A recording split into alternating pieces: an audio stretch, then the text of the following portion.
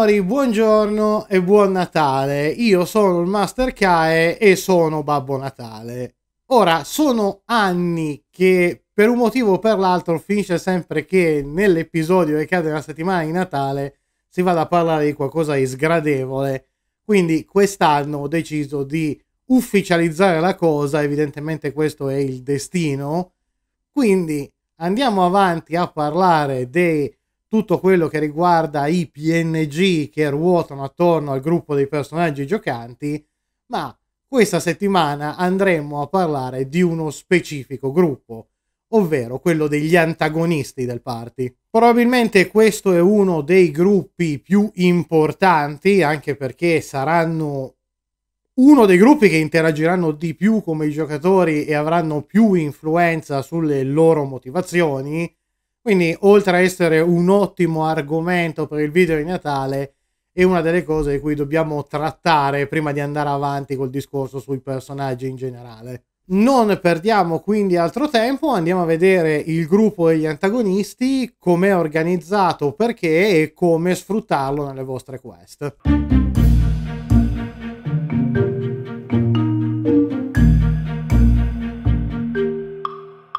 In questo video parleremo degli antagonisti del party in ottica di fazione. Su che cosa sia una fazione abbiamo parlato in un video precedente, ve lo lascio qua in alto. Andate a vederlo se non l'avete ancora recuperato, perché se no altrimenti alcune cose di quelle che diremo questa settimana potrebbero non risultarvi chiarissime. Ora, prima di tutto diamo una definizione importante. Quando si parla del gruppo degli antagonisti, si parla di quella fazione che si opporrà ai giocatori più volte nel corso di una campagna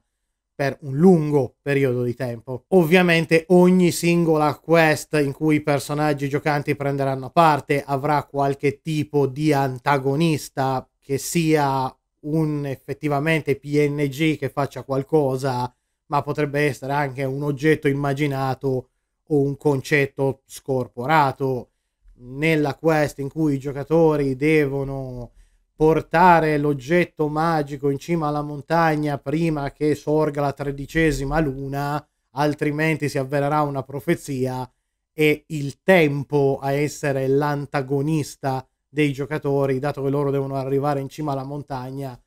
prima che un determinato orologio di gioco raggiunga la mezzanotte. Questo però non vuol dire che il tempo faccia parte di una fazione allo stesso modo il singolo PNG malvagio che sta facendo qualcosa e i personaggi devono andare ad arrestarlo, ammazzarlo, catturarlo per concludere la quest, non è un membro della fazione degli antagonisti. Qui stiamo proprio parlando di un gruppo di PNG organizzato che abbia una motivazione coerente col fatto di essere in opposizione con la visione del mondo o gli intenti del gruppo dei personaggi giocanti. Dato che a Natale sono tutti più puntigliosi, eh, chiariamo una cosa, tecnicamente quella che noi abbiamo chiamato la fazione degli antagonisti potrebbe non essere propriamente una fazione di antagonisti. Eh,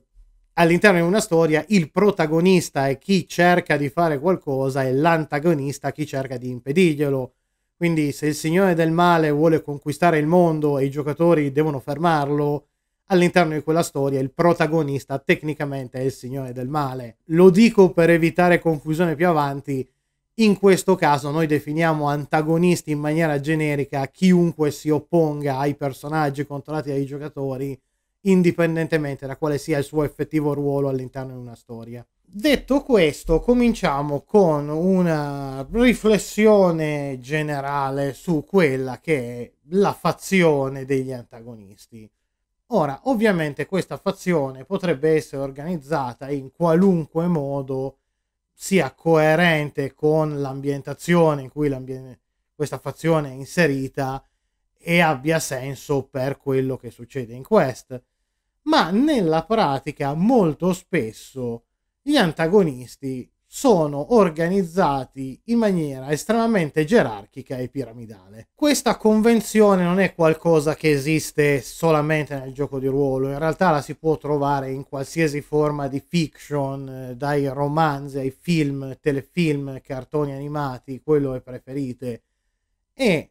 anche se magari non avete mai consciamente notato la cosa, probabilmente inconsciamente sapete già di cosa sto parlando. La classica organizzazione antagonista è composta da un gruppo di sgherri che dipende da un qualche tipo di boss,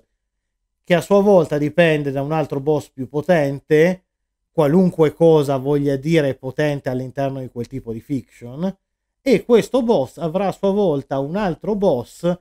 e teoricamente così a salire fino ad arrivare al boss finale, capo supremo dell'organizzazione. Se ci riflettete un attimo, probabilmente vi sta venendo in mente qualcosa tra le opere letterarie che preferite in cui L'organizzazione degli antagonisti è esattamente questa. I motivi per cui si ricade molto spesso in questo schema sono principalmente due. Il primo è che rende estremamente facile per i giocatori o comunque per chi fruisce di questo tipo di fiction capire in maniera rapida quali sono i rapporti tra i vari PNG loro avversari e che molto spesso non avranno modo di introdurre se stessi o dare molti dettagli in scena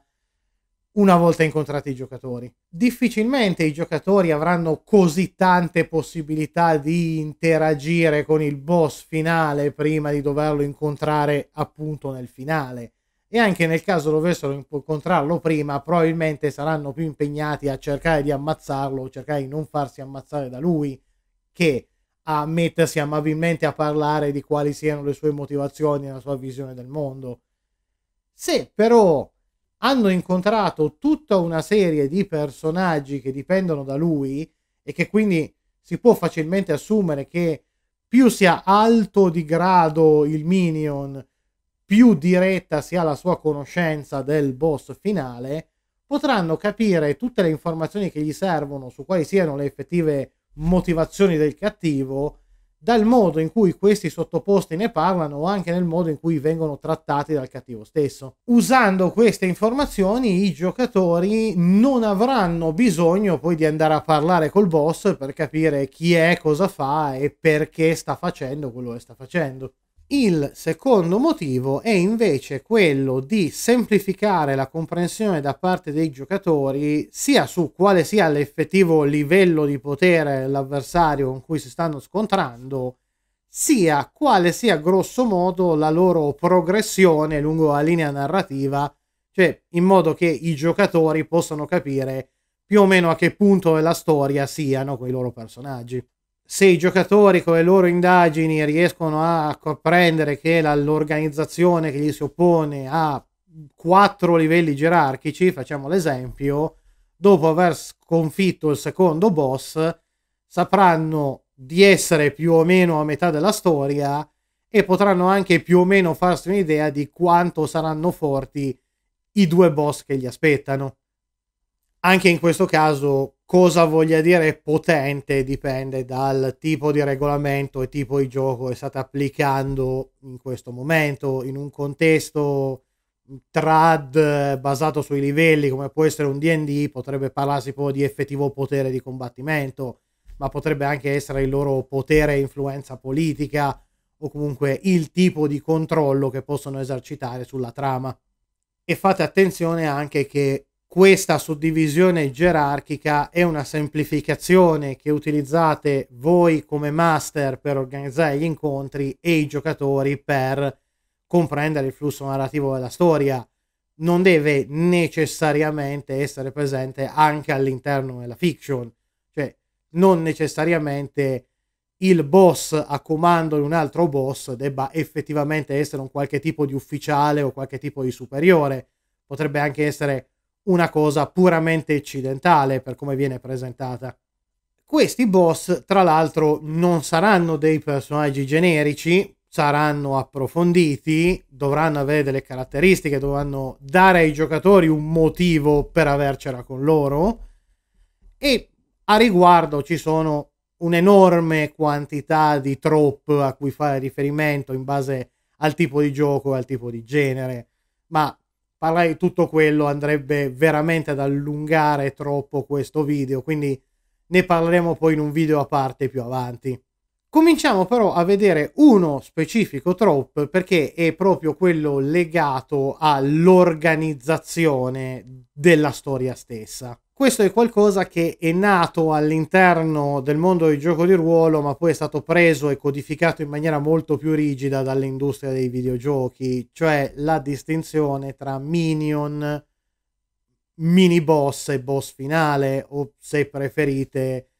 sgherro, capo e grande capo. Quando la fazione antagonista viene presentata ai giocatori, la prima struttura che sarà evidente è che la fazione è formata da una serie di PNG minori non particolarmente caratterizzati che saranno appunto i minion o gli sgherri. E a comandare e supervisionare gli sgherri ci sarà il boss, cioè il primo serio avversario che il gruppo di giocatori dovrà sconfiggere che sarà invece un personaggio che ha un suo nome, probabilmente anche un suo retroscena e o comunque avrà una caratterizzazione che lo renderà un personaggio distinto all'interno dell'ambientazione. Sarà probabilmente anche chiaro fin da subito che lui non è l'avversario finale, ma in realtà è solo un agente di un antagonista ancora più grosso, cioè quello che convenzionalmente è il boss finale, cioè l'ultimo avversario che dovrà essere sconfitto per superare l'arco narrativo. E se lo state chiedendo, sì, c'è un parallelismo che è anche voluto. Questa è una versione specchiata dell'organizzazione della fazione dei giocatori. Ne abbiamo parlato in un video un paio di settimane fa, dove gli sgherri sono i seguaci,